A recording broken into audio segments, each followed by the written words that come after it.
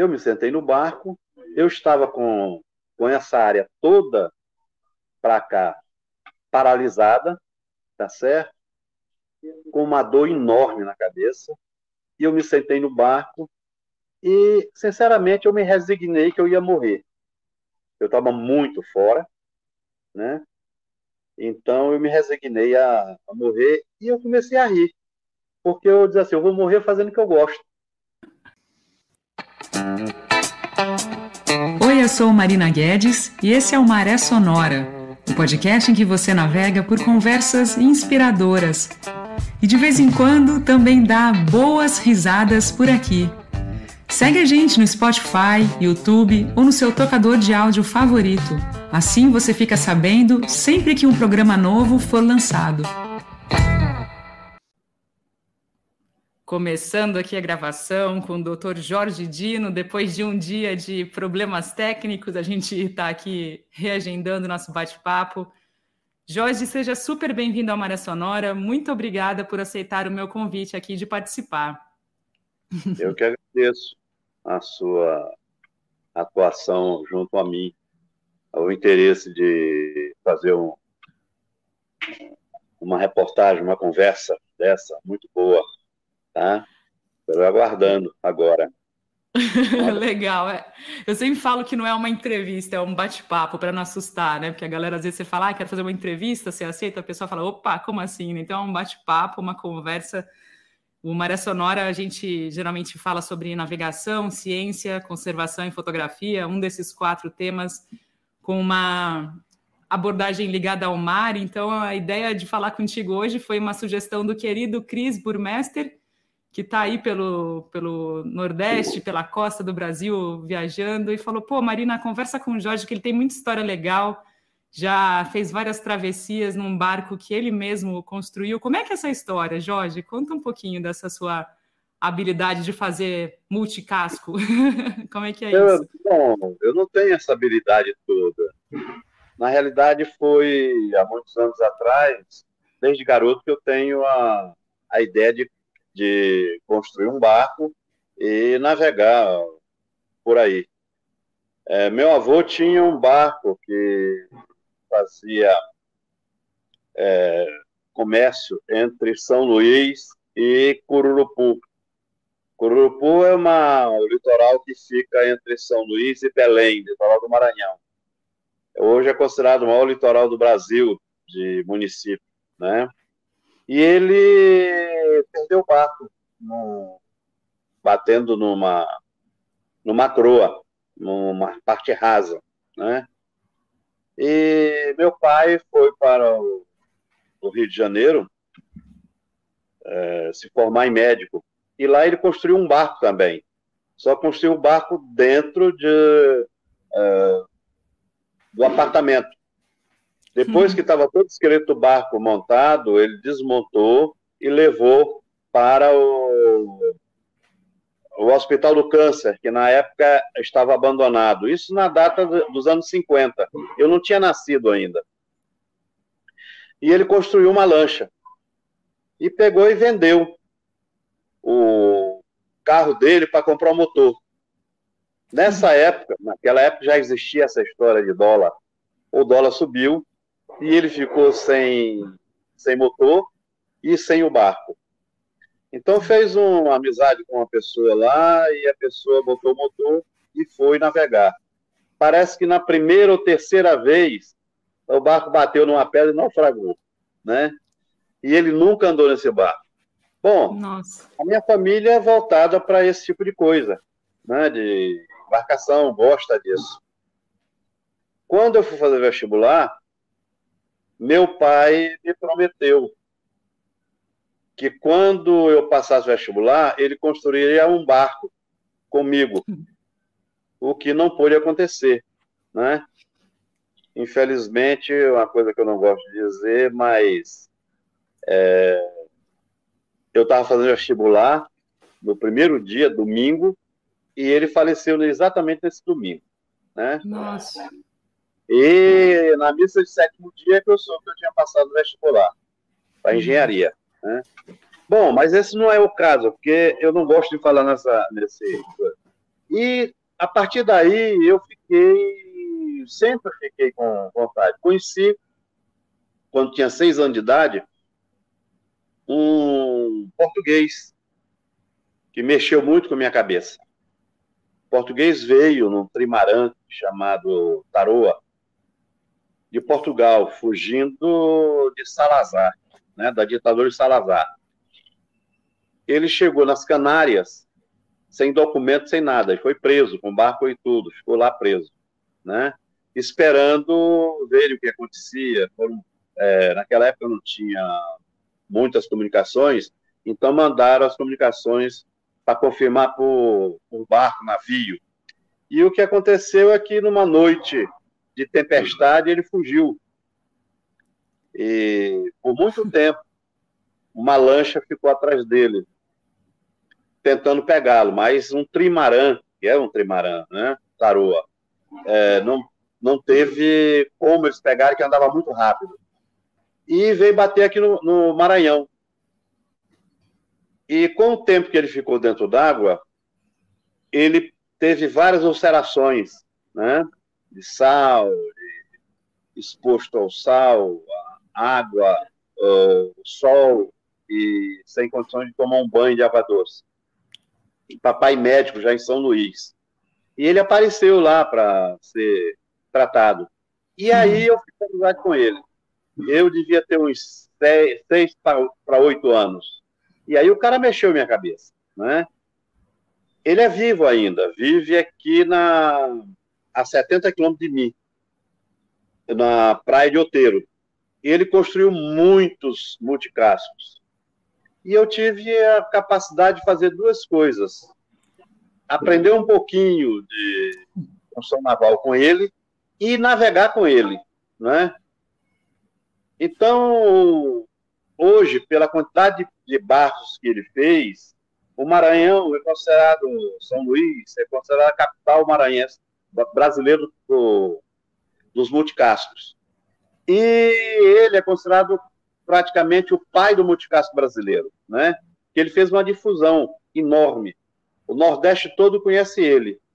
E o mais interessante dessa história toda é que quando ele chegou, perguntavam para ele que tipo de barco, porque todo mundo só via um monocasco, um barco de um casco só. E perguntavam para ele que tipo de barco era aquele, mas não perguntavam que tipo de barco, perguntavam o nome do barco, mas que não sabia o tipo e ele dizia taroa. Então, hoje, no Maranhão, no litoral do Maranhão e litoral do Pará, quando você fala em taroa, você significativamente está falando que é multicasco, né? Então, todo mundo, quando fala taroa, a gente sabe que está falando de multicasco. É interessante o que aconteceu uh, no Maranhão, né? E eu uh, eu gosto de, de navegar. Eu comecei, eu construí um barco com um amigo chamado Aloysio. Ele já faleceu. É, a história foi isso. Eu cheguei, eu cheguei, me deitei no chão, ele tirou minha altura, minha largura. Foi assim o barco. Botou a proa do barco, botou a popa do barco e, e eu fiz um trimarã. Nós fizemos um trimarã um trimarã no início de 3 metros e meio. Depois que eu naveguei bastante na região de águas mais paradas, eu resolvi pegar as baías, que já tem águas mexidas aqui. Porque o Maranhão, Maranhão é o seguinte, nós temos uma amplitude de maré muito alta, muitas vezes acima de 8 metros. Então dá Nossa. uma correnteza é, dá uma, alguns, algumas datas, em março e setembro, nós temos as grandes marés. Então dá mais de 8 metros. O normal é acima de 6. e o que acontece? É, os portos aqui, 90% dos portos ficam na baixa mar, né? Fica no seco. É, nós temos uma correnteza muito grande e nós temos um mar picado de ondas altas e muito próximas, né? Então, é, os barcos, para a gente aqui, seriam os multicascos, eles ficam em pé, no seco, né? E conseguem romper determinadas correntezas. E aí eu queria andar nesse tipo de mar. Mas para isso eu precisava de um barco maior. E a minha ideia foi aumentar um pouquinho o barco. Então, o passou para três, é, para quatro metros e pouquinho. Andei bastante, vários anos. Depois eu quis fazer uma viagem para Fortaleza. Uh, para porque Manuel português, que é esse o, o, a pessoa que eu conheço desde garoto, ele me disse: você quer aprender? Navegue, né? Então eu resolvi aumentar o barco mais uma vez. E o barco 6,60, né? Para quanto, Jorge? Para 6,60 ah, o okay. barco, Guimarães. Uhum. Eu, ele tinha 3 metros e meio, passou para 4 e pouquinho, depois eu dividi ele no meio e passei para 6,60. e aí naveguei até Fortaleza, depois na minha volta eu fui para para Belém e voltei, né? Para Belém. E aí eu estou pensando numa viagem maior. E aí eu quis, uh, eu pensei em vender o barco, até botei o barco uh, num desses links aí, não sei, da internet para vender. Mas uhum. ninguém se interessou, porque os trimarães são os barcos que menos são comerciáveis, né? Mas eu adoro esse barco, exatamente porque por causa de Manel, não sei porquê. Então, desde o começo eu tive barcos trimarães. E aí eu peguei e trouxe ele para o quintal aqui da, da, da pousada e, e fiz uma e fiz uma transformação nele. Hoje ele tem 9 metros de comprimento, né? E eu estou preparando ele para fazer uma viagem maior. Né? Não sei ainda para onde, mas eu já, já estou olhando aqui os locais. Né? pra... Mas um dos locais que eu, que eu quero ir é é, ir para o Caribe, né? Olhar o Caribe, todo mundo fala do Caribe e, e a gente faz esse tipo de, de, coisa. Uma das razões desse pensamento foi um, um amigo da internet que passou. A gente se conversava muito pelo, pela internet e de repente ele disse que ele ia para o Caribe com a família. Uhum. E a gente combinou de se encontrar na Ilha dos Lençóis. Ele chegou em São Luís e me disse, ei, rapaz, tu não estás aqui e tal? Eu disse, não, faz o seguinte, vem para essa ilha. Ele não, nunca tinha ouvido falar da Ilha dos Lençóis, que fica aqui na, na, em Cururupu, né, no litoral de Cururupu. É uma ilha onde tem os albinos, todo mundo já ouviu falar desses albinos, e onde o rei Sebastião se encantou depois que ele desapareceu na Batalha Alcacek-Bi, que ficava em Marrocos. Então ele veio, porque é uma ilha, uma ilha onde o pessoal ainda vive como há 50, 60, 70 anos atrás. E nós nos encontramos lá. E lá ele falou, eu já sabia do projeto dele. Ele queria fazer uma volta do Atlântico. E eu perguntei para ele em quanto tempo ele faria essa volta? Ele disse, em quatro anos. Bom, isso já faz uns seis a oito anos e ele continua no Caribe. Ainda não conseguiu sair. Disse, Mas, rapaz, por quê? Ele disse, tem 10 mil ilhas aqui, a gente tem aí ele está querendo conhecer todas, né? Eu gostaria de te perguntar, na verdade, assim, porque o Maré Sonora não, não tem necessariamente só velejadores, né? Então, em consideração a esse pessoal que não é do universo da vela, explica um pouquinho o que, que são trimarãs. Eu, eu tenho conhecimento bem básico, mas eu queria que isso fosse esclarecido para eventual ouvinte que estiver pensando, mas o que, que é um trimarã? Então, por favor, conta um pouquinho do que, que é um trimarã, Jorge. Bom, você sabe, um barco de um casco só, a gente chama de monocasco. Uh, os, os barcos que são de, de dois ou mais cascos, a gente chama de multicasco. Os catamarãs são barcos de dois cascos. E os trimarãs são barcos de três cascos. Né? E por que, que eu gosto de trimarã? O trimarã, na realidade, é um, vamos imaginar assim, é um, é um, multi, um monocasco alongado, tá certo? Que, que ele tem flutuadores ao lado, que eles chamam, hoje no Brasil chamam de ama, né? Mas eu prefiro chamar de flutuadores. E eu considero eles como se fosse uma bicicleta de rodinha, porque quando a gente aprende a navegar, a gente aprende a, pedalar, andar de bicicleta, em criança, os pais, a gente comprava aquelas bicicletas que tinham rodinha do lado, que depois a gente equilibrava. E para mim, eu achei perfeito esse barco, porque ele pode ter o espaço de um monocasco, né? Ele é comprido, sem a quilha embaixo pesada, quer dizer, ele anda, ele flutua mais e anda mais rápido, e tem do lado é, dois flutuadores, ou as duas rodinhas, vamos dizer assim, que quando qualquer coisa que você faça de, de absurdo, um pouco, ele equilibra e vai embora, né? E vai navegando, continua navegando. Então, o trimarã é um barco, na realidade, com três cascos. Um grande e dois pequenos, equilibrando ele. É e qual é. Ele é feito. O seu barco é, é, é, o 3D, é isso o nome? Ele é feito de qual material? É, Conta um pouquinho.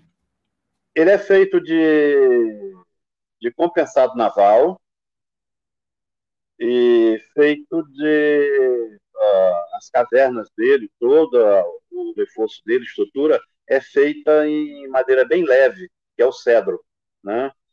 Hoje o cedro já praticamente não existe a gente tem que comprar um cedro chamado cedro australiano, que está sendo plantado no Brasil, né?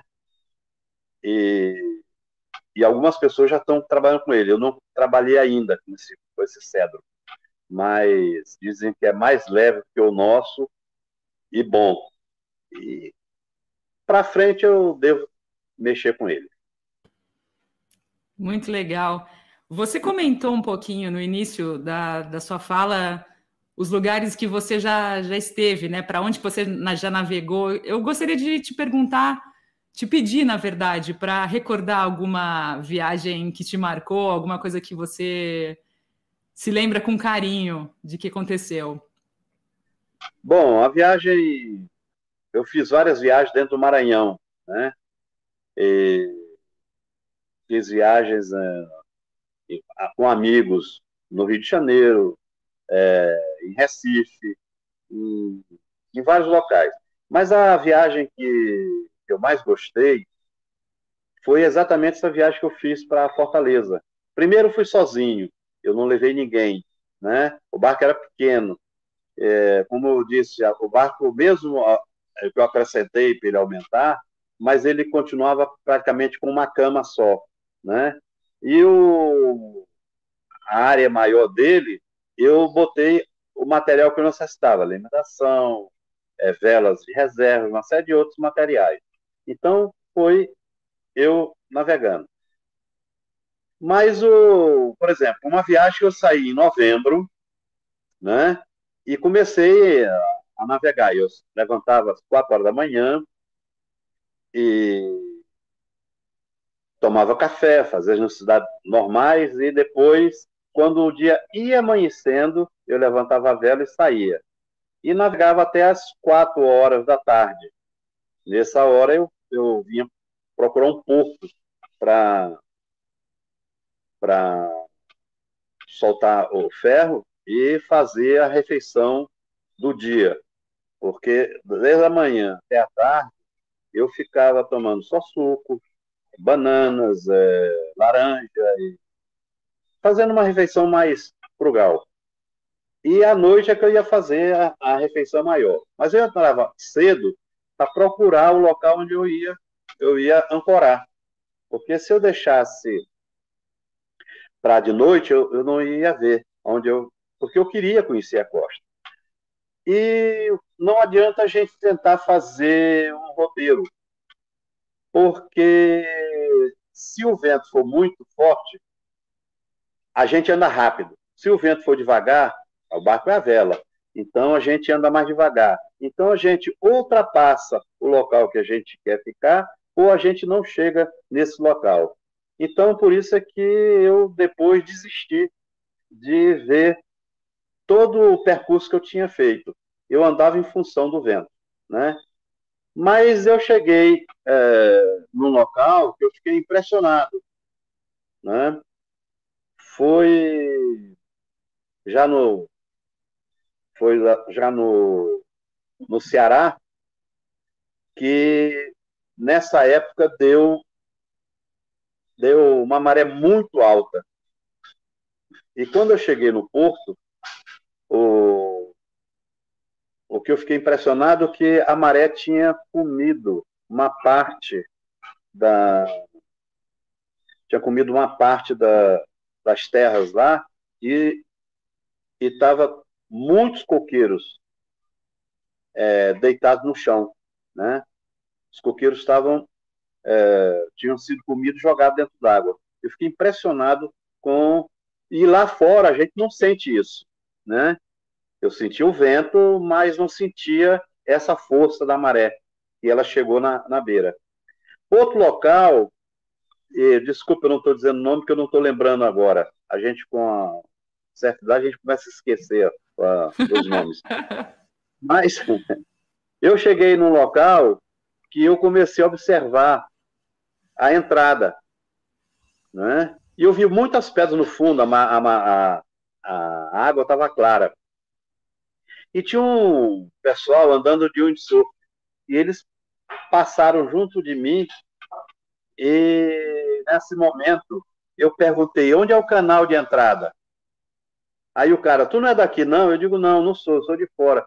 Poxa, tu... ele me disse assim mesmo, tu parece, tu tá dentro do canal, tu parece que sabe daqui, tu parece que é o profissional daqui, né? Essa hora eu fiquei muito envaidecido de saber que eu estava fazendo uma boa, é, uma boa navegação, né? A, a outra foi que eu sabia de manhã como era o vento, então, quando eu comecei a pegar a prática, né? Então, eu desenhava, pelo vento que eu sabia, a vinda dele, que era do Nordeste, eu desenhava numa carta até onde eu ia no mar, navegando, e depois eu dobrava para chegar no porto. E várias vezes aconteceu isso, né? De eu sair e quando tantas horas depois eu virava para a terra e quando eu vinha eu batia exatamente no corpo que eu queria. Eu estava fazendo navegação estimada e pela primeira vez. Então isso me deu uma alegria muito grande, né? Fazer esse tipo de coisa. Ah, na realidade os portos não tiveram muita até chegar em Ó, os portos que eu passei mais tempo foi Barreirinhas, eu passei um tempo conhecendo é, do, no Maranhão. O outro foi em Tutóia, quando eu entrei no, nas, eu estava saindo do Maranhão para entrar no Piauí, né? Então, aquela região é uma região de muitos, muitas, muitas ilhas, e eu comecei a navegar ali por dentro das ilhas para conhecer. Então, isso me deu um prazer muito grande, conhecer tudo aquilo. E foi lá que eu comecei a sentir o terral. Porque para minha região aqui não tem muito terral, não sei por que razão, né? É, lá, o terral é um vento, é o seguinte, o dia de manhã é, sopra um vento do mar para a terra, né?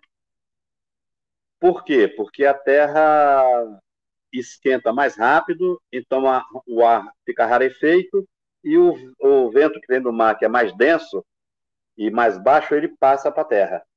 Mas quando chega mais ou menos à tarde, o, o mar está quente e a terra esfria. Então, o, o, ar denso frio, ele volta para o mar. E junto de, da terra, por ali, vira o terral, que a gente aproveita para navegar. Eu naveguei pouco nesse vento, né?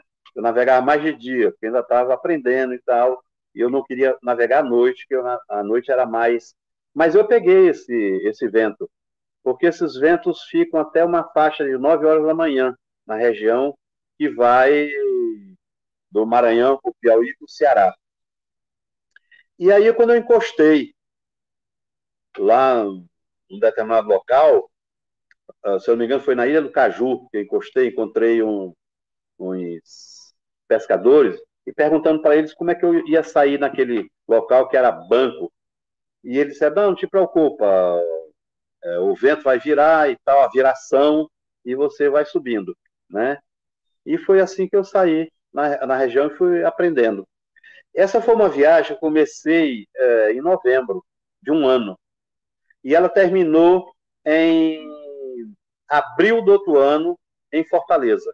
E aí foram seis meses de navegação, direto, eu parando, olhando.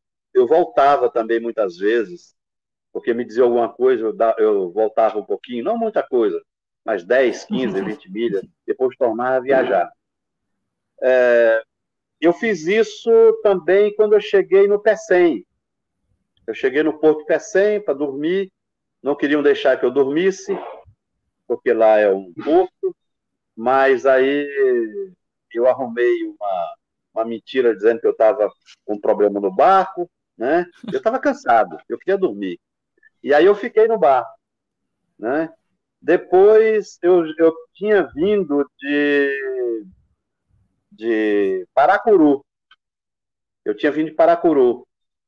E aí eu fiquei lá. E aconteceu que quando deu 11 horas da noite, depois que eu dormi das 6 às mais ou menos das 6, 5 horas da tarde até meia-noite, chegou um, um barco da, da, de lá e pediu para eu ir embora, porque iam chegar. É, eu já estava descansado, isso, aquilo, outro, que eu, eu ia embora, que ia chegar vários navios. E podia acontecer um acidente e eu estaria no, na linha do acidente. Aí eu peguei o, barco, levantei e saí. Lua bonita, vento ótimo. Mas eu estava perto de, de Fortaleza, não é?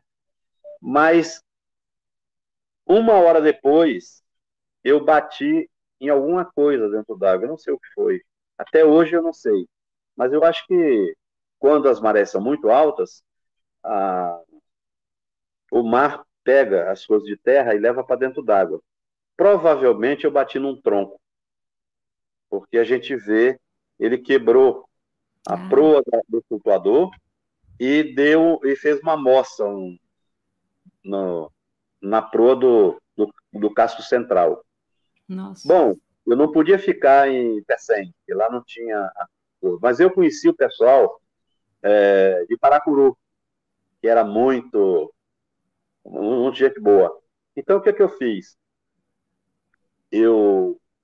A proa do barro do, do, do, de um dos flutuadores quebrou, eu me sentei lá no outro flutuador, lá atrás, levantando a, a proa desse aqui, e voltei para lá. Cheguei, era rápido a viagem, que era voltando, né? Cheguei, soltei o ferro e fui dormir. Uma faixa de umas sete horas da manhã, eu levantei, chamei um, pescador que estava passando, mas ele, na realidade, não é pescador, ele, ele é o que leva o pessoal de, de barco a barco, né? E ele me levou para a terra e lá eu falei com os amigos, bota um barco para cima, e aí eu fui fazer o concerto. Eu e um outro amigo fizemos o concerto, né? Essas coisas que acontecem. Uhum. E a ideia, a, a viagem toda, eu não tenho muita coisa que falar de terra, eu falo mais sobre as coisas que acontecem uh, no mar, porque é isso que, que marca, né? Ô Jorge, e você falou P100, é isso? Onde, onde é que fica? Situa um pouquinho para gente. Não sei se é P100 ou P6 que você falou. O P100 é um porto que fica no Ceará.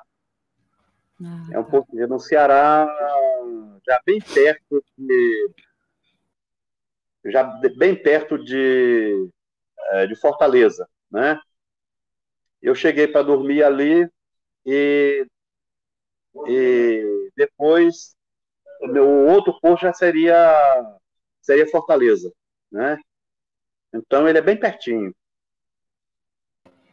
A gente Beleza. andando um pouco para dentro d'água, navegando, uhum. a gente começa a olhar o, o clarão de, de, de Fortaleza, de lá, né? Eu fiquei com uma curiosidade em saber qual que é o calado do seu veleiro, do seu trimarã. 40 centímetros. Nossa, caramba. Então, é, veja bem, um barco do mesmo tamanho, monocasco, ele tem um 1,60m, 1,50m, às vezes bem mais, de calado. É, e o meu é um barco de 40 centímetros, 45 talvez, né? na época. Agora eu não sei dizer, mas tem só um pouquinho mais, uns 10 ou 15 centímetros a mais. E dá para a gente chegar em qualquer lugar. Muitas das vezes, olha, aconteceu que eu, eu cheguei em Lagoinha, no Ceará, né? E, um, e veja bem, toda, toda rede se bota dentro d'água, o pescador, ele é obrigado a botar uma bandeira. Mas lá em Lagoinha, o cara botou uma uma garrafa PET, dois, dois litros, amarrado, mostrando onde estava a rede.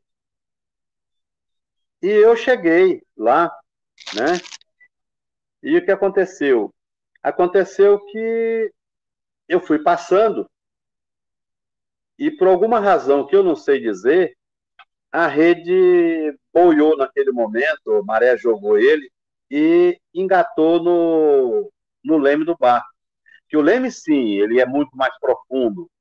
Ele fica um metro e pouco de profundidade. Há uma, uma coisa muito engraçada. Esses lemes, a gente chama um leme de, é, tipo canivete, porque ele abre como canivete e depois ele fecha, né? Se quando ele bate no fundo. Então, a gente, é, por exemplo, eu uso e outros amigos usamos, é como se fosse um profundímetro. Na hora que ele toca no fundo, que a gente sente na cana de leme, a, a, a gente tira daquele local, sabe que o local é raso. Então, a gente, muito, muito difícil a gente, é, nós ficarmos é, encalhados. Mas nesse caso, o que aconteceu é que eu, eu, eu toquei e engatou no leme. O leme virou para trás, mas engatou de tal forma que não teve como sair. E o barco foi virando na direção da praia, né? E tinha lá em Lagoinha umas pessoas pegando surf, para você ver como é o mar lá, né? Não é muito grande, mas o pessoal estava lá. E aí eu tentei te botar o barco para fora, mas o barco não ia, não. Então, o que aconteceu? Eu peguei e virei o barco, eu estava com as velas em cima, e eu virei o barco para a praia, surfei as ondas com, com a rede presa na, no barco e fui parar na praia. Quando o barco encalhou na praia, as ondas eram tão pequenas que não fizeram é, problema nenhum. Nós, na praia, nós tiramos a rede, ajeitamos o barco, arrumamos umas 10 pessoas, para você ver que o barco era leve, viramos o barco e empurram para dentro d'água e eu botei no, no, no, local onde ele devia ficar. Se bem que Lagoinha não tem é, não tem porto. A, a, todos os barcos lá são, são, são barcos que encostam na, na beira, né? São canoas que encostam na beira. Lá que eu vi as primeiras jangadas, que eu não tinha visto ainda, né? E todas elas não pô, só eu fiquei lá fora, fora das ondas. e você também, uma outra. Você é, trabalha com turismo aí no Maranhão atualmente, é isso? Olha, veja bem, eu fiz engenharia, né? E depois eu fui ser gerente em Manaus, de uma empresa. Me convidaram para ir, eu fui para lá. E chegando lá, é, eu encontrei um, um prédio precisando de reforma. E a partir daí eu, eu descobri que minha vocação não era, era outra coisa, mas minha vocação era ser hoteleiro, trabalhar na área de turismo. Essa é uma história interessante, porque ela começa quando eu sou garoto.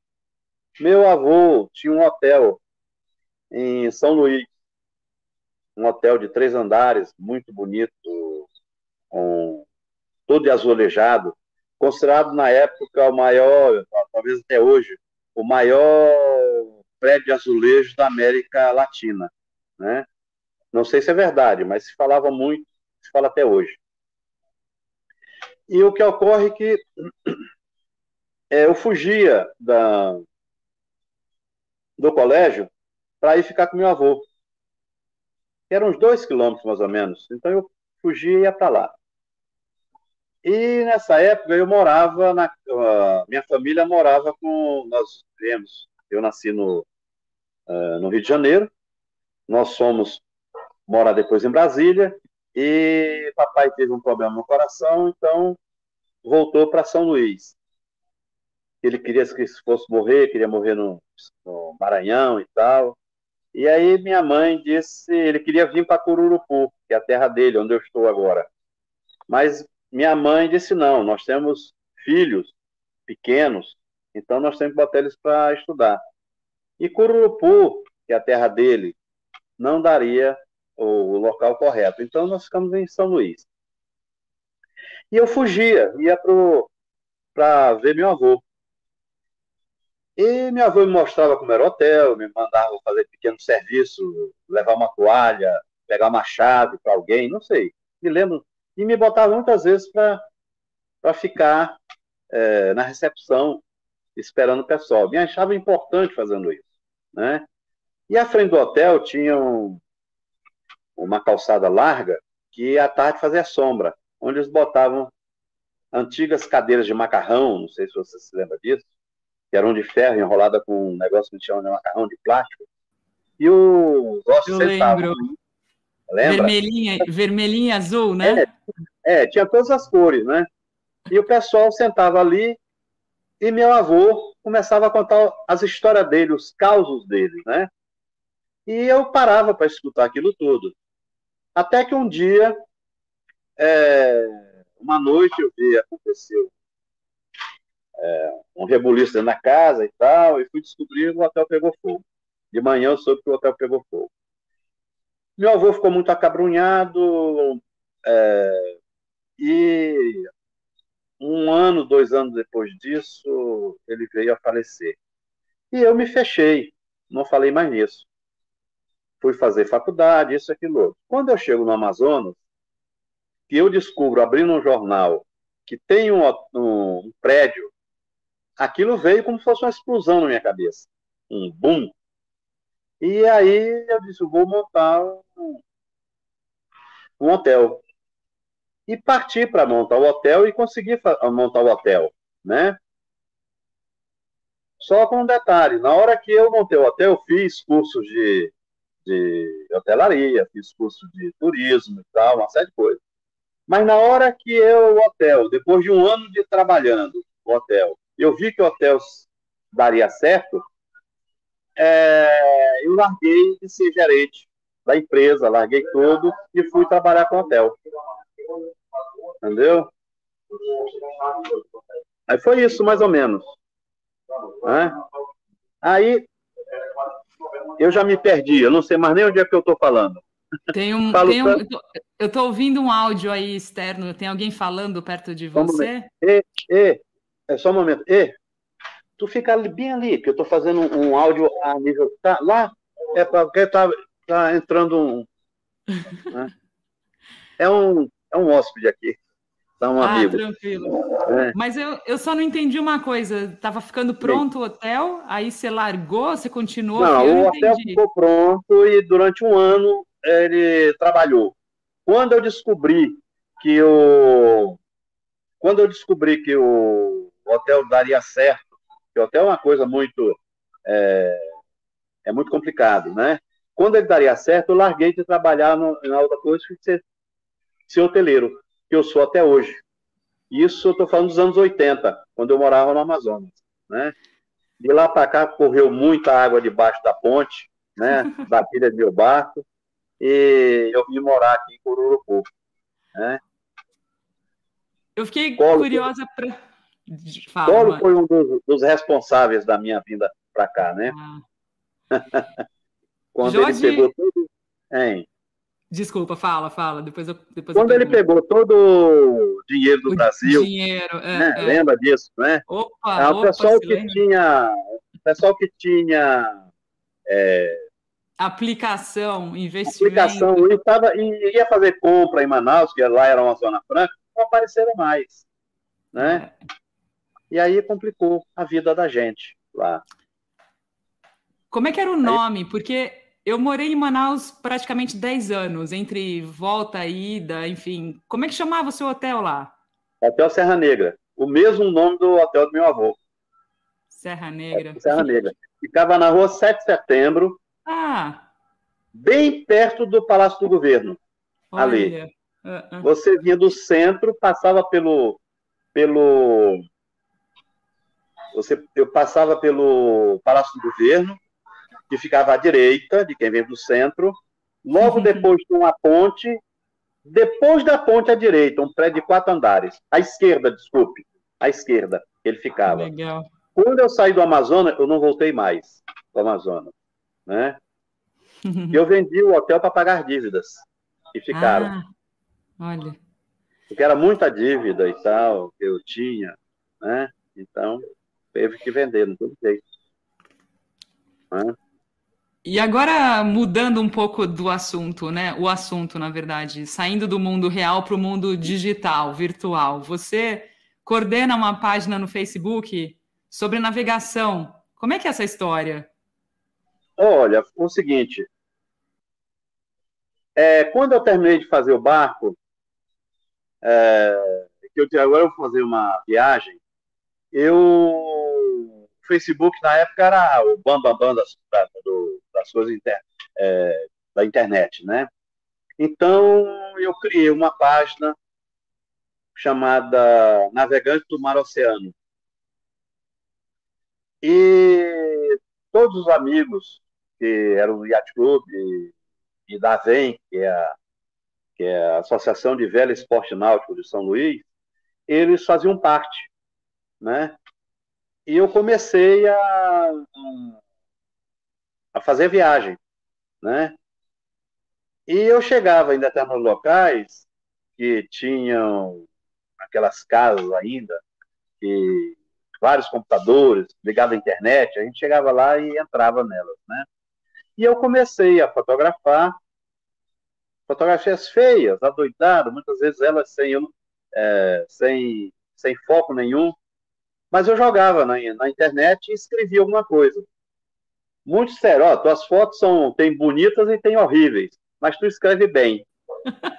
e a partir daí, nós éramos 40, talvez 50 pessoas, que quando eu terminei seis meses depois da viagem, na verdade a viagem terminou de uh, para chegar em Fortaleza em abril.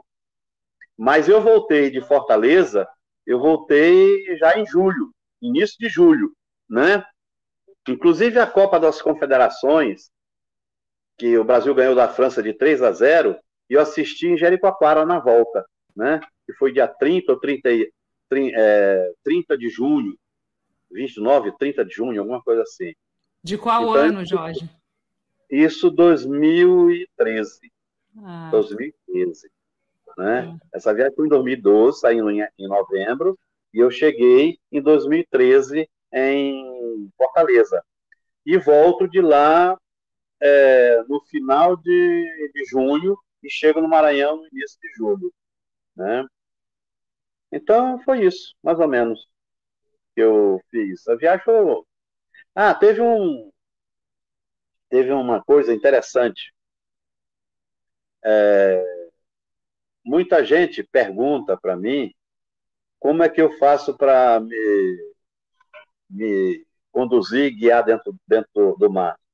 Eu digo, olha, quando eu fui para Fortaleza, o, falando para leigo, né? Quando eu fui para Fortaleza, o sol nasce na minha frente, na proa do meu barco, e se põe na, na minha popa. E as terras estão para a direita. Quando eu voltei de lá, o sol nasce na minha popa e se põe na minha, minha proa. E as terras estão para o lado da esquerda, né? Então, eu não eu não me preocupo de olhar muito a bússola se eu tenho, naquele momento, o sol para me mostrar. Eu não, eu, minha navegação sempre é estimada, né? Você está viajando, por exemplo, num bar, num carro, a 60 km por hora, quer dizer, um quilômetro por minuto, vamos imaginar assim, né? E se você estiver lendo um livro e olhar para o relógio, passou 15 minutos, você navegou 15. 15 é, navegou não, você andou 15 quilômetros. Então, é mais ou menos a, essa é a navegação estimada. É muito simples, né? E com o sol em cima, que o Nordeste tem muito sol, pouco. Na realidade, eu não peguei nenhuma tempestade, vamos dizer assim, né? Só na hora que eu ia chegando em São Luís, eu peguei. E depois na viagem para Belém, eu peguei duas, né? Mas na viagem para para Fortaleza, os deuses me ajudaram e na eu fui, praticamente voltei sem pegar nenhuma nenhuma é, tempestade. E aí eu não precisava nem olhar para a bússola. Eu olhava o sol, via a situação dele, sabia que ele caminhava e era só ir seguindo devagarzinho, né? Fiz a viagem tranquilo, sem problema nenhum. Teve um problema, teve um problema. Esse eu quero contar para ti. Eu vinha de lá eu vinha de lá e já saindo do Ceará para entrar no Piauí, né? Como o barco é pequeno, eu eu estava navegando com as velas todas abertas, né? E o barco é pequeno, então se você se move de um local para outro, desequilibra.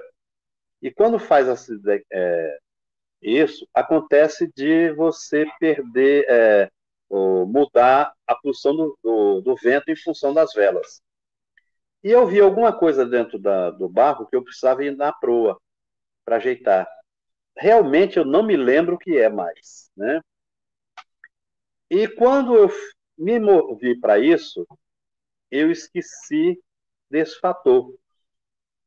E o vento entrou por trás da vela e a retranca, que é aquela peça que fica embaixo da, da vela que a gente puxa para esticar e controlar a vela e regular, é, me deu uma pancada na cabeça, exatamente bem aqui, né?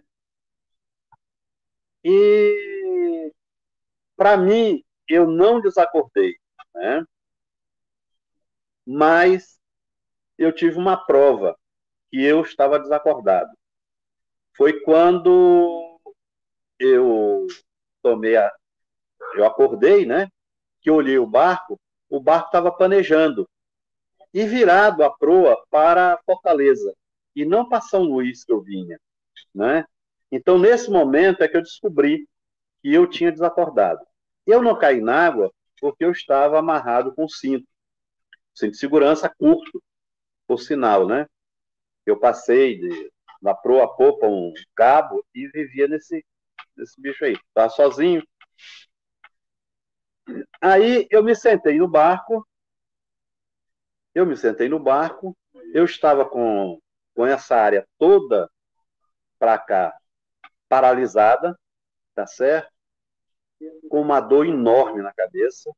E eu me sentei no barco e, sinceramente, eu me resignei que eu ia morrer.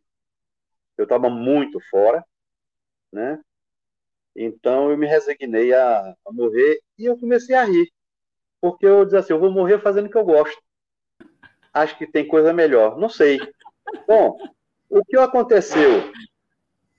Eu botei o barco para a beira, né? Vindo do, do, do de lá para cá. E isso durou mais ou menos uma hora e meia. Eu estava bem uns 15, 20 milhas fora da costa. E aí eu comecei a me sentir melhor. Tomei um comprimido contra dor de cabeça, a, a mão que estava meia sem força, né, a mão direita, que bateu no lado direito né, da cabeça, é, começou a voltar, a perna também, né? E aí uma hora eu olhei e falei, sabe uma coisa, eu vou para São Luís. Eu estou indo para São Luís, eu vou para São Luís. Não adianta eu parar um local desse aí, né? No começo, quando você se apavora, a minha ideia era o seguinte, era chegar em terra e meter o barco na praia, junto de uma comunidade, e pedir socorro. Mas aí eu comecei a melhorar, eu não estava vendo mais, eu não tive convulsão, eu não tive é, visão dupla, né, e uma série de outras coisas que eu observei, né? Eu digo, rapaz, dá para ir para São Luís. Eu fui embora. Ainda passei dois ou três dias para chegar em São Luís. Nossa. Quando eu cheguei em São Luís, quando eu cheguei em São Luís, eu tirei uma fotografia, a minha cabeça bem aqui, tava um galo de assim, uns dois ou três dedos, né? Caramba. Aí cheguei em São Luís, fui para o hospital, né? E fiz uma ressonância magnética. Bom, é, o médico disse que eu, eu sou um vaso ruim, que não quebra, né? Porque o osso tinha ido para o fundo. Nossa. Amassou o osso um pouquinho para o fundo. Mas embaixo não tinha nada, nenhum coágulo, nem coisa nenhuma. E ele me disse uma coisa que eu concordo até hoje, né? Não precisa fazer. Se você for fazer uma cirurgia para botar o osso no local, você tem tá todo normal, sem problema, você vai deixar uma cicatriz, uma série de coisas aí. Então é melhor deixar isso que ninguém percebe. Então, só quando eu mostro às pessoas que eu tô com, com as pessoas percebem que eu tenho um fundo aqui no meio da cabeça, né? Mas, veja bem, eu demorei uns três, uns três meses a seis meses para todas as funções voltarem ao normal, né? Eu sentia fraqueza na mão, né? Eu fiz muito exercício para a mão, eu puxava uma bola assim, para dar força nessa região aqui que eu não tinha, né? Do lado direito. É, até pegar uma caneta, é, ficava é, a mão tremia, né?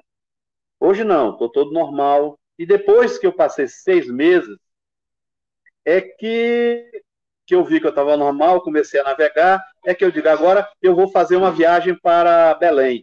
E foi em 2014, essa viagem, que eu fui assistir a Copa do, do Mundo em Belém.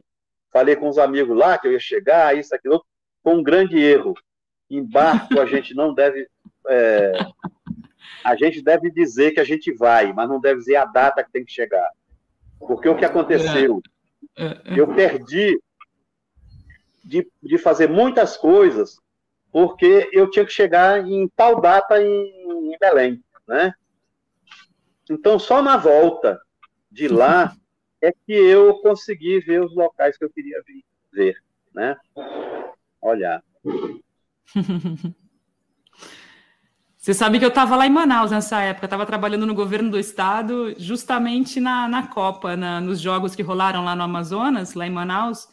Por falar inglês, a minha função foi eventualmente dar um auxílio para o governador, né? E eu era da equipe de imprensa do governo do estado. Então, na prática, não tinha nada para fazer, só ver os jogos e curtir os, de graça os jogos pra lá no. alguma coisa para os outros, né? mas eh, acompanhar, enfim, o governador na época, acho que o último interesse da, da, da mídia internacional era falar com o governador. Então, na prática. Quem era o governador na época? Eu não me lembro. Quem era o governador na época? Era, era o, o Melo na época, né? Era o, o Omar Aziz, era o Omar Aziz e o Melo era o vice. Ah, eu não conhecia, não. Então, é, e aí mas, enfim, o Jorge, eu queria te pedir, te perguntar uma última coisa. É, Para o pessoal que, que ficou curioso aí para conhecer mais esse grupo no Facebook. Fala só um pouquinho sobre é, é, como é que a pessoa pode encontrar e que tipo de conteúdo, enfim, quais são os assuntos que vocês costumam compartilhar nessa página? Então, é, a primeira coisa, ele foi feito para as pessoas deixarem suas experiências. E ele começou com 40 e poucas pessoas comigo, escrevendo, e quando eu voltei de, da viagem, ele já tinha perto de 2 mil pessoas. Né? Hoje nós estamos numa faixa de 9 mil pessoas dentro. É, e é uma coisa que só eu, eu falo para o pessoal, peço para não botarem é, propagandas, né? Porque tem gente que só faz propaganda, ah, eu faço curso de disso, curso daquilo, é, eu vendo barco. Então, essas coisas a gente pede para não, não botar isso. Mas tudo que é de barco, por exemplo, eu mandei uma fotografia para ti dizendo bom dia de um trimarã, né? Essas coisas a gente bota lá. É, agora o, o Beto Pandiani, ele está fazendo uma volta no Polo Norte, é, entrando pela entrando pela passagem noroeste, né? Ele e o Igor Belli. Exatamente. Então está aparecendo constantemente lá, né? E muitas outras coisas, né? Agora que eu vou botar o barco andar, que eu fiz uma reforma nele, é, eu vou escrever sobre o que eu estou fazendo e jogar lá, com fotografias. O pessoal vir conhecer a região, tá certo? É, há muito tempo atrás, só fazendo aqui um adendo, então a, a, a, a, a página é uma página voltada a tudo que você pode imaginar. Se você quiser botar uma fotografia de navio, falar de um navio, por favor, não botem mais Titanic, que ninguém aguenta mais o Titanic, né? Mas tudo bem. Vamos botar outras coisas que são mais interessantes, são interessantes como o Titanic, né? Porque, não, já, eu já estou... Não só eu, mas todo mundo está de saco cheio. Porque todo mundo, onde você fala, é do Titanic, né? Então, botam porcaria lá dentro, imaginando que o Titanic era, né? Ou deixava de ser, gente não aguento mais, é uma coisa que já chegou no limite, né? Mas o resto pode botar sem problema, pode levar. As pessoas botam fotografia que tiveram numa praia, né? É, um barco, isso, aquilo, outro, é só coisa que a gente faz, né? E acontece. É normal. Todo mundo é livre, é um, é um, ele é aberto ao público, você pode entrar, você pode ler, se quiser. Eu acho que só quem pode escrever é quem é do grupo. Mas você pode entrar e olhar, porque não é um privado. Privado você não olha o grupo. Então eu deixei aberto exatamente por causa disso. Ok? Maravilha, Jorge. Eu vou colocar na descrição do episódio o link para o pessoal que Sim. se interessar e quiser conhecer melhor, para o link do Facebook. Eu gostaria de te agradecer pelo seu tempo, por participar. E quando você voltar ao mar aí, entre em contato, que vai ser uma alegria conversar contigo e ouvir mais histórias tuas aqui no podcast. Super obrigada. Ok, obrigado. Eu que agradeço a sua atenção, tá bom? Bom, e assim a gente chega ao fim deste episódio. Muito obrigada por acompanhar mais uma conversa por aqui. Agradeço também aos nossos apoiadores que fazem com que esse trabalho siga adiante. E se você gostou e quer nos apoiar também, é muito fácil. Contribua com o valor que desejar através do nosso Pix, podcastmariasonora.gmail.com. Saiba que com R$ reais já estará nos ajudando muito. E se por acaso você vive fora do Brasil, também é possível apoiar. O link para isso está na descrição deste episódio. O Maré Sonora é um oferecimento do Café do Luiz, o café que celebra a amizade e os bons momentos. Encomende o seu de qualquer lugar no Brasil através do perfil no Instagram, arroba Café do Luiz. E eu volto na próxima segunda-feira com um novo episódio por aqui. Até lá, tenha uma ótima semana e bons ventos!